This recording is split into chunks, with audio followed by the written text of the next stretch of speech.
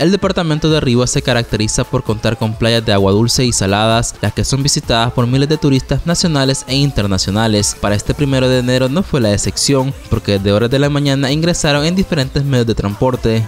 Sí, está bastante concurrido. Está bastante concurrido y que relajarse un rato ahí después de tanto trabajo bastante bonita porque aquí disfrutamos en ambiente, pero no, no se registran pleitos, no hay robos, no hay nada. Estamos resguardados por la Cruz Roja, la policía y la alcaldía de toda la que no nos abandona.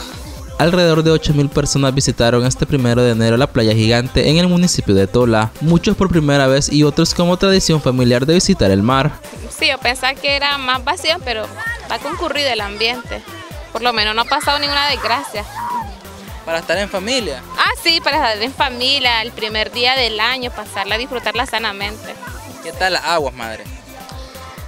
Pues este, ahorita está subiendo más la marea, pero siempre hay que estar pendiente de los hijos, porque son más inquietos. Bien, gracias al Señor, la hemos pasado bien, una playa linda, una playa bella. Esperamos pues que esto se repita, ¿ves?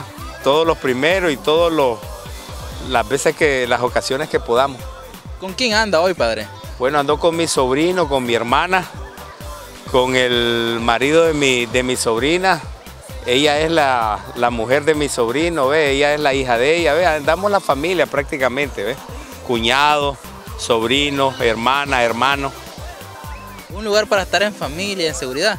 Así es, así es, es un lugar muy, muy, muy bonito bellísimo, ¿ves?